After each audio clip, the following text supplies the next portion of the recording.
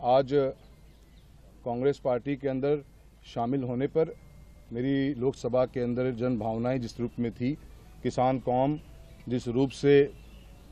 परेशान थी, उसकी आवाज़ को दबाया जा रहा था। सामंतवादी जो सोच थी, वो आगे बढ़ती जा रही थी और किसान की आवाज़ को अनसुना किया जा रहा था। ऐसे अनेकों मुद्दे रहे, जिन मुद्दों के ऊपर मैंने आज कांग्रेस पार्टी के परिवार का हिस्सा बनने की मेरी लोकसभा की मेरे जो कार्यकर्ता हैं, मेरे लोगों की आवाज़ को सुनते हुए आज मैं इस पार्टी का परिवार में शामिल हुआ हूँ। मैं बहुत बहुत धन्यवाद खड़गे साहब आपका देना चाहता हूँ और कांग्रेस पार्टी में रहकर मैं मेरी